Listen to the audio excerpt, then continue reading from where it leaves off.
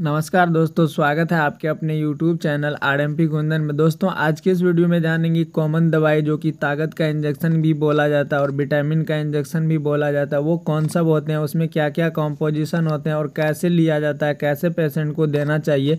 आज के इस वीडियो में यही जानेंगे बिल्कुल अपना साधारण भाषा में हिंदी लैंग्वेज में जानने वाले हैं तो उनसे पहले आपसे एक छोटा सा रिक्वेस्ट है कि वीडियो को बिना स्किप के लास्ट तक बने रहें और आपसे एक और रिक्वेस्ट है कि अगर आप भी हमारे चैनल पर पहली बार विज़िट करें तो आप लोगों का प्यार और सपोर्ट का मुझे बहुत ज़रूरत है। तो जितना हो सके प्यार और सपोर्ट बनाए रखें। तो चलिए अब आप लोगों को ले चलते हैं वीडियो की टॉपिक की और दोस्तों, यहाँ पे इंजेक्शन की ब्रांड नाम की बात करें तो ये नीरोकाइन के नाम से आपको मेडिकल स्टोर पे मिल जाता है, जो कि कुछ इस प्रकार से इसका टैबलेट फॉर्म और इंजेक्शन फॉर्म दोनों अवेलेबल होता है। चलिए, इनका इस्तेमाल यूज़ जानते हैं। यदि न्यूरॉन कमज़ोर हो जाए तो इसका इस्तेमाल किया जाता है।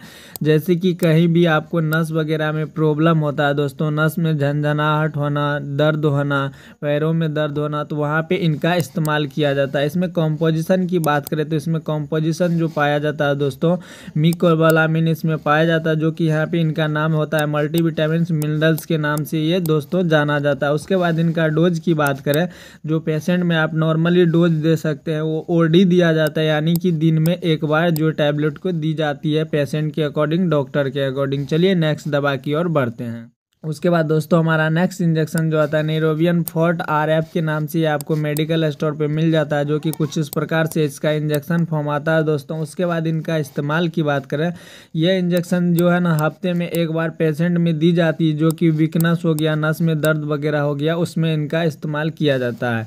उसके बाद इसमें कॉम्पोजिशन की बात करें तो इसमें कॉम्पोजिशन जो होता है मिकोबालाबिन यानी कि विटामिन ट्वेल्व होता है पेरिडोक्सिम होता है, उसके बाद निकोटनामाइड होता है, जो कि बहुत महत्वपूर्ण इंजेक्शन होता है, ये आपको बहुत सस्ते में मिल जाता है, जो कि ये विटामिन के इंजेक्शन से भी नाम से जाना जाता है दोस्तों। उसके बाद इनका इस्तेमाल की बात करें, डोज की बात करें तो ये इंजेक्शन जो है ना, सात दिन में एक बार पेशेंट को दी जाती है। सात दिन के अंदर आपको एक बार लगाना और दूसरा जो है, सात दिन का गैप लेके फिर से इंजेक्शन लगाना। इसका रिज़ल्ट बहुत अच्छा होता है दोस्तों, जैसे हाथ में दर्द वगैरह होना झंझनाहट होना, वहाँ पर डिप्सेंसी होना, विटामिन का अगर वहाँ देते हैं ना, पेशेंट में बहुत बहुत अच्छा इसका रिज़ल्ट होता है। आप यहाँ पे इनके साथ कोई भी एक एंटीबायोटिक सजेस्ट करें। चलिए नेक्स्ट दवा की ओर बढ़ते हैं।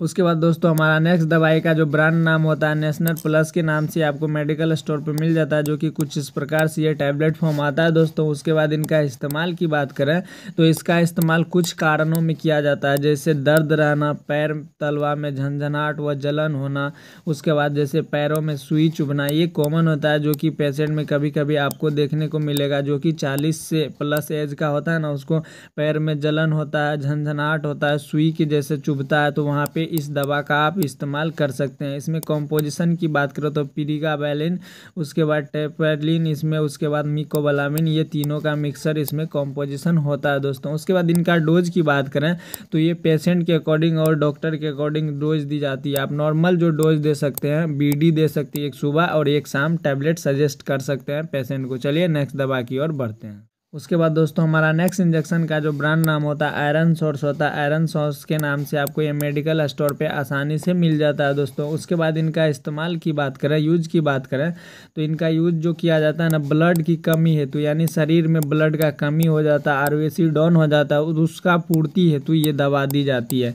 अब देने का जो तरीका होता है ना दोस्तों डोज की बात करें तो डोज जो है zero point five M G यानी पर के जी हिसाब से आप दे सकते हैं। जैसे कोई व्यक्ति साठ के जी का है ना तो उसको आप जो है कि ज़ीरो पॉइंट फाइव से गुना करेंगे तो तीस एम हो जाएगा, जो कि आपको ये जो है ना आईवी इन्फ्यूजन के साथ देना होता है। जैसे आप यहाँ नॉर्मल सलाइन या आरएल के साथ आप इसको मिक्सर करके आईवी स्लोली इसमें जो है कि पेशेंट में जो कि आप चढ़ा सकते हैं। चलिए नेक्स्ट दवा की ओर बढ़ते हैं। उसके बाद दोस्तों, हमारा नेक्स्ट दवाई का जो नाम होता है मल्टी विटामिन के नाम से आपको ये मेडिकल स्टोर पे मिल जाता है, जो कि एम के नाम से ये पॉपुलर होता है। एम के नाम से ये बहुत पॉपुलर है, आपको आसानी से मिल जाएगा दोस्तों। उनके बाद इनका इस्तेमाल की बात करें तो यूज़ की बात करें तो इसका इस्तेमाल होता है विटामिन डिफिशेंसी यानी कि विटामिन की शरीर में कमी हो जाने पर विटामिन की पूर्ति हेतु ये दवा दी जाती है विटामिन ए विटामिन टू या विटामिन डी जो भी है गाइज़ इसका पूर्ति हेतु जो है ना, ये विटामिन का इंजेक्शन जो है कि पेशेंट में दिया जाता है। उसके बाद डोज की बात करें और देने की तरीका बात करें तो पाँच से दस एम जो है ना, आप एक पेशेंट को जो है कि नॉर्मली पाँच सौ के साथ या आरएल के साथ मिला के स्लोली आप चढ़ा सकते हैं आई इन्फ्यूजन दे सकते हैं। चलिए नेक्स्ट इंजेक्शन की ओर बढ़ते हैं।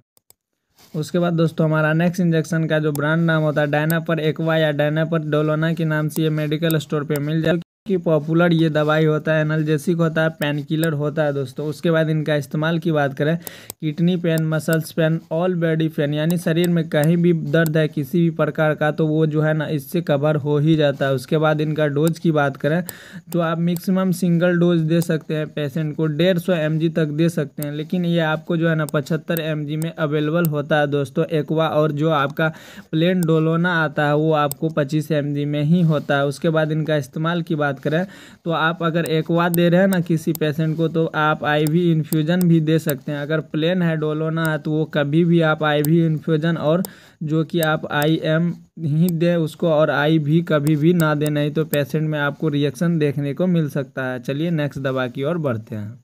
उसके बाद दोस्तों, हमारा नेक्स्ट दवा का जो नाम होता है पैरासीटामोल होता है, जो कि कुछ इस प्रकार से आता है टैबलेट फॉर्म इंजेक्शन फॉर्म और आईवी इन्फ्यूजन यानी तीनों में अवेलेबल होता है, जो कि इनके बारे में सभी को पता होगा ही दोस्तों। उसके बाद ये पेन किलर और एंटीपायरेटिक दवा होती है।